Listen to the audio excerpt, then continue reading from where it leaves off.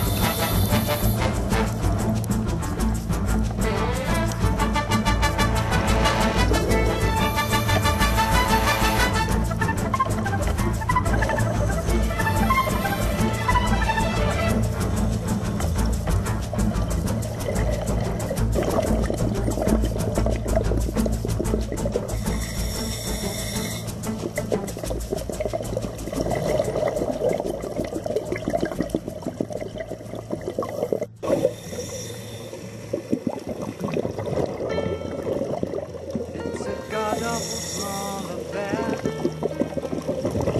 girl with the mousy hair. But her mommy is yelling no.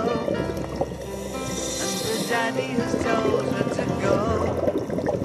But her friend is nowhere to be seen. Now she walks through her sunken dream. To the seat with the clearest view and she's hooked to the silver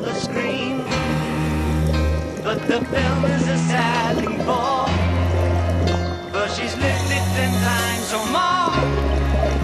She could spit in the eyes of fools if they ask her to focus on sailors fighting in the dance hall.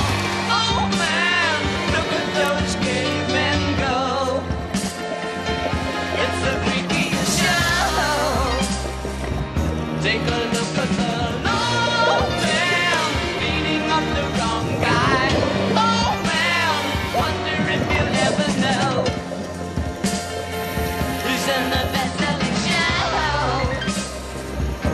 their